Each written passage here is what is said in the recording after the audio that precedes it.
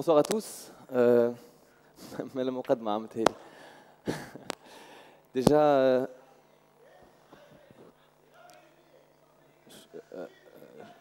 الولاد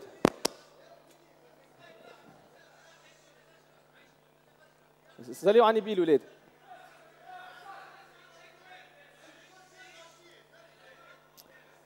لقاو حل شنو؟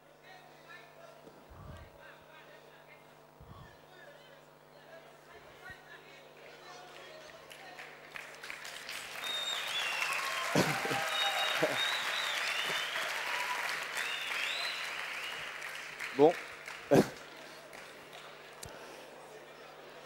Merci pour ce cadeau.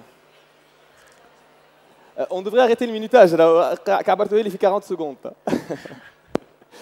bon, bon, on va essayer de, d'y aller quand même. Je suis euh, désolé ce qui s'est passé. Euh, attends. Donc, je me présente d'abord. Euh, Esmi Fers. Euh, Pour ceux qui ne me connaissent pas, je suis résident en chirurgie plastique. Euh, très bientôt docteur d'ailleurs. Alhamdulillah, il était temps. Je suis aussi euh, acteur amateur, j'essaye de jouer quand on m'en donne l'occasion. Et je suis président d'une association, euh, une toute nouvelle association, euh, euh, il y a deux semaines officiellement, mais ça fait 4-5 mois qu'on y travaille, qui s'appelle Tunisie Tolérance.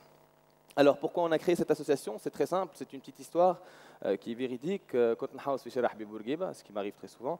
Et, euh, en passant, j'ai vu une, fille très très mignonne, bien vêtue avec une, jupe assez courte et un beau décolleté sympathique. Et bien sûr, le Twain, ah, ah, ça m'actaf l'arabe, ah, etc. Il sait qu'il n'a pas de chance de l'avoir. Et le problème, c'est que pour une fois, j'ai entendu une insulte qui m'a assez intrigué, qui m'a qui m'a fait peur entre guillemets. C'est euh, ما تحشمش انت ماكش كافره وماكش مسلمه وبرد حاجه بخير لك وشد دارك et ce genre de choses qui n'est pas assez courant. درت الدورة اخترت الدورة par hasard, j'ai trouvé deux personnes voilées, محترمين, لابسين ال- les gants, le voile, etc. و- Ils ont été aussi insultés de la même manière, on les a traités de momies, de يمسخوا le, le, le- le paysage tunisien, etc. روحت للدار un peu, un peu, un peu déboussolé ou un peu embêté. Je me suis dit finalement, Tounsi, il n'est pas satisfait par ce qu'il a. معناتها. Quelle que soit la tenue vestimentaire, quelle que soit la personne que tu as, on n'est pas content. Et l'idée de l'association euh, Tunisie Tolérance est née. Euh, l'idée de l'association est très simple, c'est d'abord essayer de promouvoir فكرة التسامح, le fait qu'on on, معناتها, on est dans le respect, qu'on essaye de dialoguer. Le dialogue, c'est la source d'inspiration, c'est la source de progrès. Et d'essayer de faire des conférences, des campagnes d'éducation, etc., un peu partout en Tunisie, en privilégiant le Secondo, on est là aussi pour aider les victimes de discrimination, parce qu'une personne qui est victime de discrimination, c'est quelqu'un qui est touché dans son âme. C'est quelqu'un qui a un problème. Il y a psychologiquement, elle peut être victime de coups et blessures. Et là, on est dans la violence, carrément physique. Et il faut trouver des gens pour les aider. On est là pour les aider. On a une commission médicale avec des, psychologues, des médecins pour aider les personnes victimes de discrimination. Et puis, FAM a euh, aussi euh, un comité euh, juridique avec des avocats, Mohamed, qui sont là, Zedab Shidef, ou à la Hokouk al al ou surtout l'Abed et Zahait al-Aqsa, et ils sont là bénévolement, gratuitement, pour aider ce genre de personnes. Comme, beaucoup d'autres associations, on fait aussi de l'humanitaire. L'humanitaire, enfin, la pauvreté, c'est une discrimination sociale. Voilà, en gros, nos trois grosses missions au sein de l'association. Alors, est-ce qu'il y a discrimination dans notre pays? La discrimination, c'est simple. Hein. Euh, la discrimination, c'est euh, écarter un groupe de personnes pour des raisons euh, de religion, de race, de sexe, de mœurs sociales, culturelles, politiques ou autres, et leur supprimer leurs droits معناتها باش نقسم الحقوق نتاعهم. Et c'est ça le gros problème, c'est que euh, la discrimination, ça va marcher Voilà. La discrimination va toucher tous les domaines. Elle peut toucher le domaine de l'emploi. Enfin, il y a beaucoup de, euh, d'employeurs qui ne choisissent pas telle ou telle personne على خاطر جاي من ال- من الجهة هذيا وعلى خاطر le- la la couleur de peau asmer par exemple. Il y a ceux qui écartent euh, d'autres euh, individus خاطر ils sont trop vieux donc euh, ما ينجموش euh, يقوموا بالخدمة هذيا ولا au contraire ils sont trop jeunes et ils manquent trop d'expérience. Euh, ça, ça touche également euh, la tenue vestimentaire ولا الناس آه، يخافوا كي يخرجوا البنات تخاف كي تخرج في الشارع آه، تخاف كي تخرج في الشارع على خاطر آه، تقول لك نجموش آه، مش- ما يمشيوش يسبوني ويقلقوني ويقولوا لي شبيك ماكش مستوره اتسيتيرا Il y a d'autres domaines aussi, il y a les handicapés. Vous savez, il y a beaucoup d'infrastructures qui ne sont pas prévues pour handicapés. Enfin, Blaise, où un handicapé sur fauteuil roulant ne peut pas accéder à un parc d'attractions. Il n'y a pas une infrastructure prévue à cet effet. Et là, c'est intolérable. Sinon, euh, bien sûr, il y a euh, pas mal d'autres sources de discrimination euh, en ce qui concerne les, les, habitudes sexuelles, par exemple. Alors, Alish, c'est ça, en fait. Il faut essayer de comprendre pourquoi on en arrive là, pourquoi ça va s'aggraver. Euh, c'est en train de s'aggraver tous les jours. Et pour ça, je vais vous raconter une petite histoire. C'est l'histoire d'une grenouille euh, qu'on va appeler Joe, si vous voulez. Et cette grenouille-là, on l'a mise dans une... Vous savez, la, grenouille, elle vit très bien dans une eau à température entre 15 et 18 degrés. Je ne sais pas si vous le saviez. Et euh, Hatina, enfin, dans une marmite, et on a commencé à chauffer l'eau un peu. Donc de 15 degrés, ça allait à 20, 25, 30, 35. Et la grenouille a commencé à avoir chaud. Bon, elle a continué à vivre normalement, mais elle a commencé à être dérangée. Après 45 degrés, euh, elle a voulu essayer de sortir de, l'eau, mais sans vraiment y parvenir. À 50 degrés, elle était quasiment cuite parce que les muscles ont été tout à fait relâchés. À la elle avait perdu connaissance et elle a fini dans un, plat. Voilà. On a repris euh, son autre copine, une grenouille jumelle, qu'on a mis tout de suite dans une eau à 50 degrés, une eau donc nocive pour sa survie. Et d'un coup de patte, elle a réussi à sortir de la marmite. En fait, la moralité de l'histoire, la morale de l'histoire, c'est que quand on est dans un milieu euh, propice à notre développement et qu'il y a des changements progressifs, crescendo, graduellement, euh, on peut arriver, et si on les tolère, et si on ne fait rien, euh, sans, si on ne se révolte pas, on peut très vite, très très vite se retrouver dans un milieu nocif pour notre survie. Et il faut savoir que les gens qui veulent transformer notre société en une société radicale, par exemple, ne vont jamais prendre des mesures radicales, Meloul. Ils vont prendre une petite mesure, une petite loi, un petit amendement de loi, petit à petit, jusqu'à arriver après 5, 10, 15, 20 ans à un changement radical de la société. Donc cet immobilisme est un danger euh, et, comme on l'a vu là à Tawa, par exemple, euh, comme on l'a vu là, par exemple, euh, dans la salle, on est, on est tous restés en train de regarder, moi le premier, hein, on est tous restés en train de regarder ces gens-là en train de se disputer. On n'a pas réagi, on n'a pas essayé de, de, pousser à la question qu'est-ce qui se passe D'ailleurs, je ne sais même pas Mais, enfin, si, je sais En fait, voilà, vous l'aurez compris, c'est une petite mise en scène. Donc, je remercie les deux acteurs qui sont venus. Voilà. Et euh, bien sûr, c'était une mise en scène pour essayer de démontrer, voilà, ce qu'on fait souvent en psychologie sociale, c'est de mettre, euh, de mettre la société dans un labo comme ça d'expérience. Et là, justement, on a, vu que la plupart de nous, tous, n'avons pas réagi. Et c'est principalement le danger. Parce que la discrimination existe en Tunisie et elle est, elle est importante. Euh, on a vu les violences festades. Il y a eu un mort à cause de ça. Ça peut aller très loin. On a vu les violences euh, à hein, tout ce qui se passe maintenant, mais bien Boulessé ou euh, le Mouatni. Et bon, euh, il y a eu aussi, Firamzan, un restaurant, Jandouba, qui a toujours travaillé, Firamzan. Alors, bien sûr, il ne travaille pas, fi Halal Terrasse ou fi Wustenhar ou Qadiwari, non, Hab Rido, qui m'a barché restaurant, tout à fait, et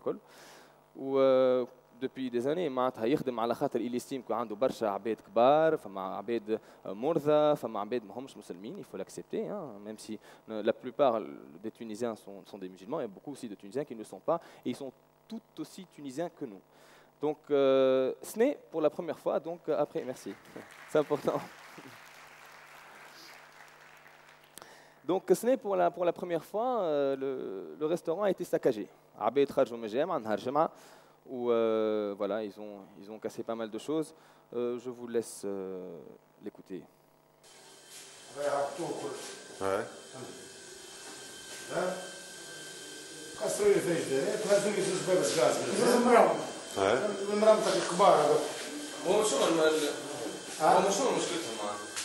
المشكل تاعها شو اليوم نهار في نهار اثنين شو قال لازم تسكر شو السكر علاش قالوا لك علاش ولا حرام شنو شنو حرام الناس مرضى بالسكر Ouais. Voilà, bon, c'est des petites vidéos toutes courtes hein, pour ne pas prendre trop de temps. Donc voilà, haram. Voilà, c'était simple. Une autre forme de discrimination, je suis en train de vous montrer euh, pourquoi ça existe et pourquoi il faut réagir, hein, en deux mots. Euh, ce monsieur est un, est un ancien toxicomane qui est séropositif, c'est un très bon ami. Euh, donc surnommé Jimmy. Il a accepté, il a beaucoup de courage de témoigner à visage découvert.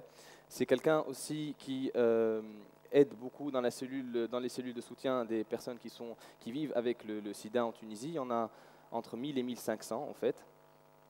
Et ces personnes euh, vivent un, gros problème de discrimination. Ils sont renvoyés de leurs emplois. Ils ont du mal à trouver de l'argent pour se payer leur trithérapie qui coûte excessivement cher. Ils ont du mal aussi à se faire des amis.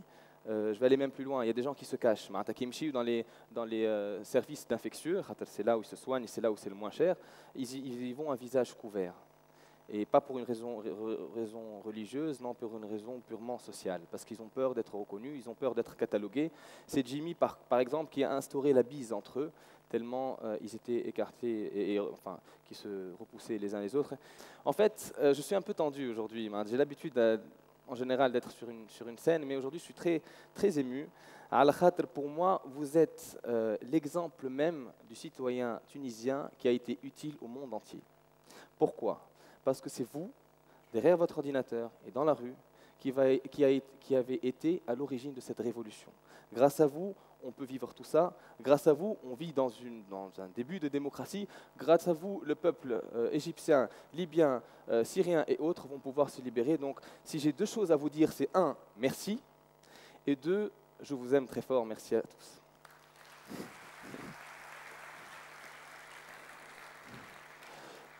Jette comment Elle peut la faire avec une larme, si vous voulez. Bon, en fait, euh, Jimmy a dit un truc, je vais, le dire à sa place, excuse-moi Jimmy, euh, il a dit un truc qui était vraiment euh, poignante dans cette phrase, c'est pour ça que je voulais la passer. Il a dit que ce, qui, le, ce qui le ce qui le rendait fou dans cette situation-là, on a du mal à s'intégrer, on a du mal à s'en sortir, ce qui me rend fou, c'est que les gens se détestent. Pourquoi ils se détestent? Et c'est vrai en fait. Tout le problème vient de là. Quand je vous dis je vous aime, non, je suis sincère, je vous aime. Et tout le problème est là. Si le peuple tunisien apprenait à se connaître, à se respecter et à s'aimer, on pourrait avancer. Et c'est le message le plus important que je voulais faire passer. Autre forme de discrimination, là euh, on change complètement, c'est euh, quelqu'un qui m'a appelé euh, sur le téléphone de l'association et euh, m'appeler sept fois. J'ai eu la bonne idée de l'enregistrer à la septième fois. J'ai bien fait parce que c'est quelqu'un qui se dit être salafiste proche d'Al-Qaïda. Et euh, ce salafiste proche d'Al-Qaïda, entre guillemets, euh, a une opinion très particulière des Tunisiens. Je vous laisse l'écouter en espérant que ça puisse marcher. Si tu es démocrate, tu es kafir. de l'islam, tu sors de l'islam. Mais la majorité, la majorité des Tunisiens, ce sont des kofars. On est en train de préparer des choses pour la Tunisie. On est en train de lui préparer un joli cadeau. Un joli cadeau d'anniversaire. On fait confiance comme moujahidine, on fait confiance comme bons musulmans pratiquants, on ne fait pas confiance à des bourguibistes. C'est quoi la solution C'est quoi la solution pour toi C'est l'État islamique, c'est l'État islamique régi avec la charia d'Allah. Yeah. أيها الكفار. Terrible. Alors on l'a mise aussi un peu parce qu'il y a des gens qui, qui ont cru qu'on faisait un coup de pub dessus.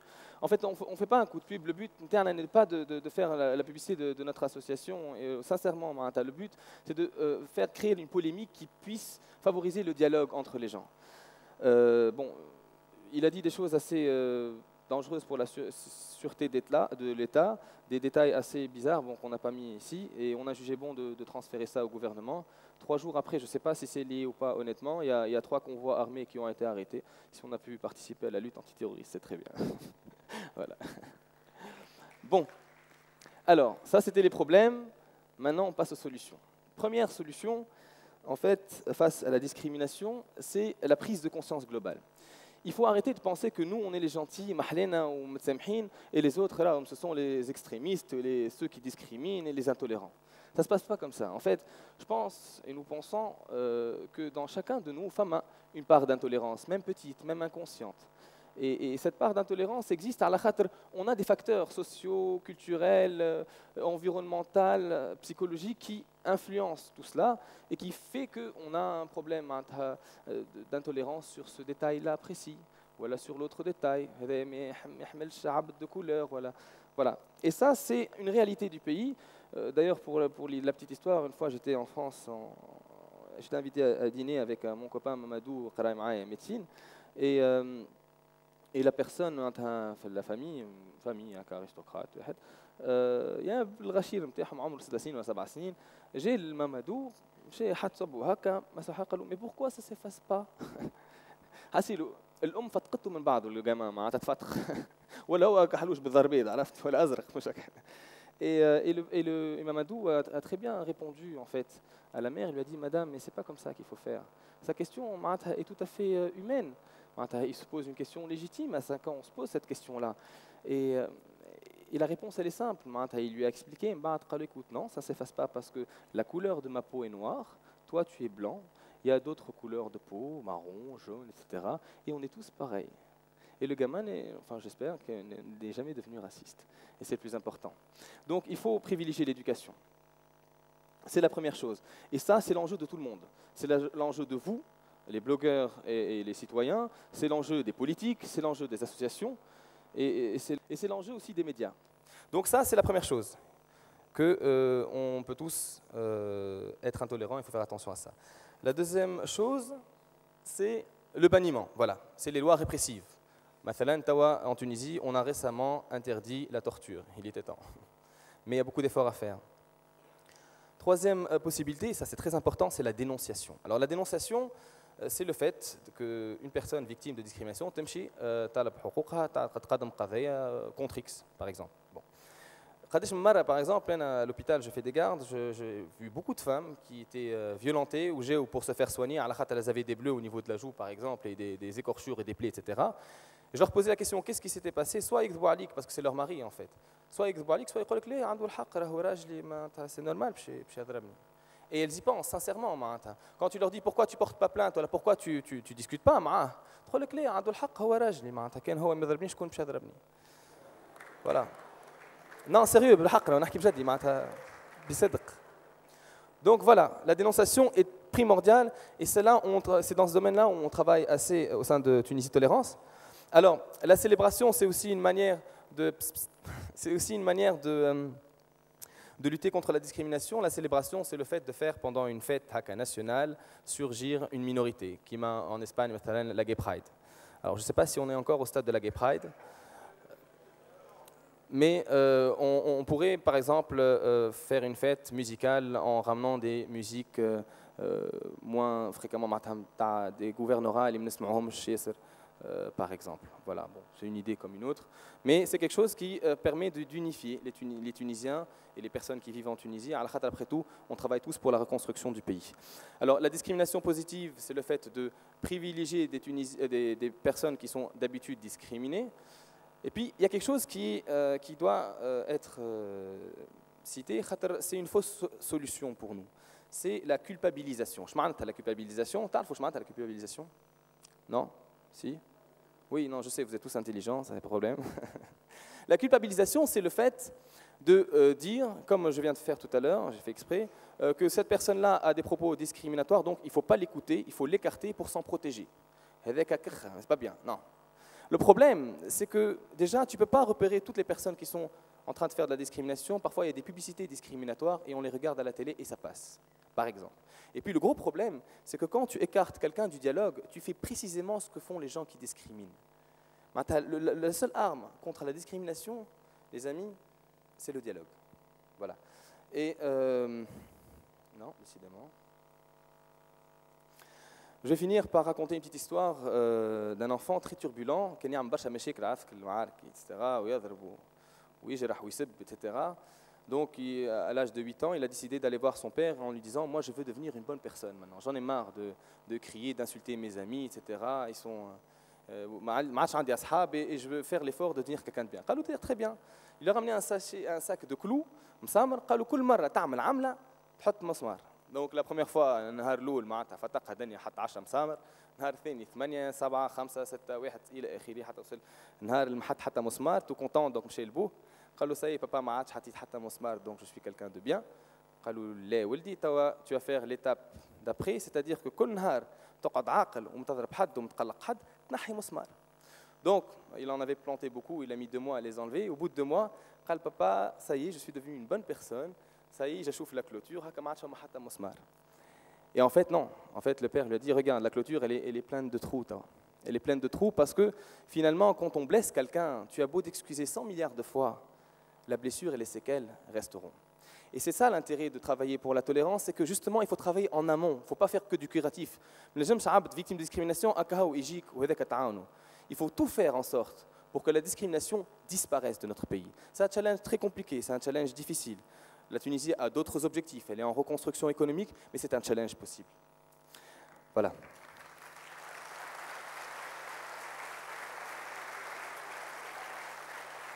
Donc, si je peux, vous, dire une chose comme message, et s'il vous plaît, prenez-le sérieusement. Euh, donc ça, c'est des t-shirts qu'on a fait avec cette idée-là. C'est que la violence, il ne faut pas attendre jusqu'à ce qu'elle vienne à nous pour la dénoncer. Il faut la dénoncer même quand tu la vois chez l'autre pour éviter qu'elle continue à sévir encore. Je vais finir par vous dire qu'on travaille beaucoup aussi dans l'éducation des enfants. C'est le plus important parce que c'est eux qui feront les Tunisiens de demain et je vous donne nos contacts. On est aussi présent sur Facebook, sur Twitter. Euh, c'était un, grand plaisir de partager ce moment avec vous. Je suis très fier d'être là euh, avec vous. Je vous dois beaucoup de respect. Si vous me permettez, il y a une petite vidéo qui passe, euh, c'est une des interviews vidéo qu'on met sur la page, qui parle sur ce sujet-là pour clôturer le pitch. le speech, je vous remercie beaucoup. À bientôt.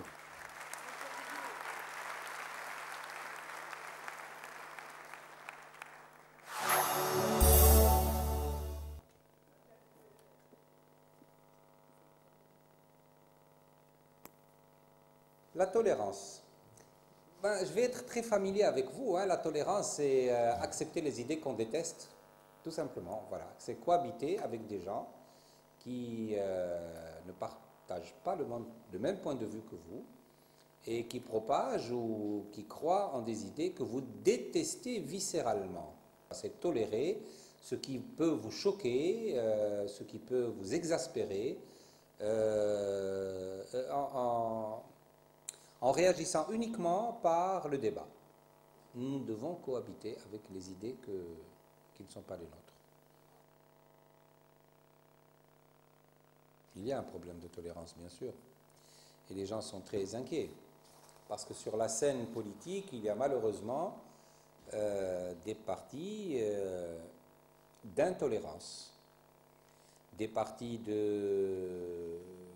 d'oppression, des partis euh, qui veulent imposer leurs idées par euh, la violence, des partis antidémocratiques. Et donc, euh, ces partis-là constituent pour la démocratie, qui est le régime même de la tolérance, un danger permanent. Le problème, c'est que justement, la fragilité de la démocratie, c'est qu'elle admet en son sein même les gens euh, qui la détestent. C'est bon dans un certain sens parce que la démocratie peut brasser très large comme ça et intégrer un spectre d'idées très très large. Mais c'est dangereux parce qu'il y a des partis qui peuvent profiter du mécanisme démocratique pour tuer la démocratie. Leur slogan c'est Donne-moi la liberté que je la tue. Donne-moi la liberté pour que j'accède au pouvoir. Une fois que j'accède au pouvoir, je tue la liberté. Et vous pouvez toujours courir derrière moi. Et puis alors dans les sociétés politiques, on sait comment ça, ça évolue. Après, c'est par la torture, c'est par le mensonge, enfin tous les vices de la dictature que nous avons vécu en Tunisie pendant 23 ans. Ben, la tolérance est dans la constitution de l'être humain, comme la, liberté. Hein. Instinctivement, euh, l'homme, dans sa constitution psychique, a cet instinct de domination sur les autres. Le, vouloir commander, le vouloir euh, homogénéiser tous les, groupes qui dépendent de, vous. Euh. donc comme la liberté est un instinct humain, l'intolérance aussi est un instinct humain. Mais la liberté est supérieure, par conséquent, il faut faire euh, triompher la liberté dans un régime démocratique sur les instincts nuisibles de l'être humain, qui sont l'instinct de domination, l'instinct d'intolérance, euh, l'instinct de violence. Là aussi, il y a un instinct hein, chez l'individu. Les gens ne sont pas toujours convaincus que l'idée de la tolérance est moralement supérieure à l'idée euh, de coercition, par exemple. Chez nous, instinctivement, dès que quelqu'un sort des rangs, on pense instinctivement, il faut le redresser C'est un problème culturel, avant tout. Mais vous avez un rôle euh, immense à jouer, hein, comme tous les composants de la société civile. Vous devez faire ce que vous êtes en train de faire, c'est-à-dire contacter, euh, diffuser l'idée de la tolérance, euh, aller au fond du peuple pour discuter cette idée, la diffuser, expliquer sa supériorité intellectuelle surtout. Le rôle de la, société civile est plus important que celui des partis politiques. Parce que les partis politiques sont organisés pour la prise du pouvoir. Les associations sont organisées pour mettre en conscience la société civile. D'où le rôle à long terme est beaucoup plus important, parce que c'est un rôle culturel. Il faut expliquer à l'ensemble de la population qu'en en politique, dans le régime démocratique, il ne s'agit pas de dompter, il ne s'agit pas d'imposer des solutions par la coercition, mais qu'il s'agit de convaincre. C'est ça la tolérance, c'est convaincre. Une société ne peut être saine que si la culture, la plus largement diffusée au, sein de la société, est une culture de tolérance et donc une culture démocratique et une culture de liberté. Je suis d'abord de tout cœur avec, vous parce que moi je suis un démocrate de conviction, un démocrate profond et non pas un démocrate stratège. Donc pour vous encourager, je vous dis que vous avez un très grand rôle à jouer pour, euh, entre guillemets, conscientiser la société civile et que vous pouvez compter sur moi et que je suis de tout cœur avec vous parce que vraiment ma première religion, c'est la religion de la tolérance. C'est elle qui permet aux autres religions d'exister dans la liberté.